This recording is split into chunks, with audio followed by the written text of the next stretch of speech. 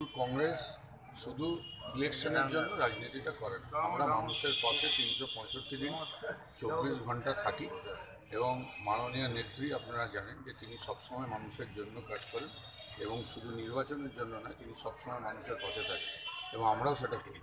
আমি মূলত বালুরঘাটের দায়িত্বে রয়েছি। আর সকালে যেহেতু একটু সময় পেয়েছি, আমাকে কিষানদা এবং এখানকার যারা আরও কাউন্সিলররা আছে তারা অনুরোধ করেছে। তাই আজকে আমরা আমাদের প্রার্থীর সমর্থনে আজকে আমরা একটা এখানে পদযাত্রা কি বুঝছেন? না দেখুন আমার তো মনে হয় বোঝার কিছু নেই বিরোধী কোথাও কিছু আছে বলে আমার মনে হয় না।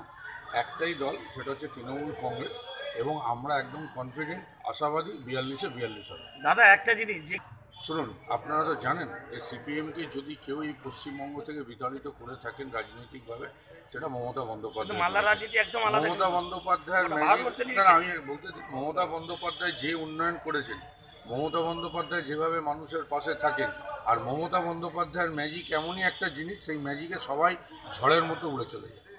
একদিন আমার তো মনে হয় ভোট কর্মীরাও কোথাও কোথাও রাজনৈতিক উদ্দেশ্য প্রণোদিতভাবে কাজ করছে এবং এটা আপনারা যেটা দেখ- দেখাচ্ছেন হয়তো একটা সার্টেন পোর্শন অফ কর্মী তারা ইচ্ছাকৃতভাবে তারা রাজনৈতিকভাবে মোটিভেটেড তারা এই কাজ করছে।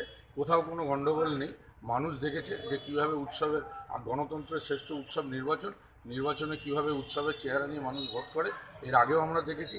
দু হাজার এগারোয় বরঞ্চ আমরা বলতে পারি দু হাজার এগারোয় মহামাটি মানুষের সরকার আসার পরে মমতা বন্দ্যোপাধ্যায় প্রমাণ করে দিয়েছেন যে ইলেকশন উৎসবের মেজাজে হয় এবারে উৎসবের মেজাজে ভোট হবে।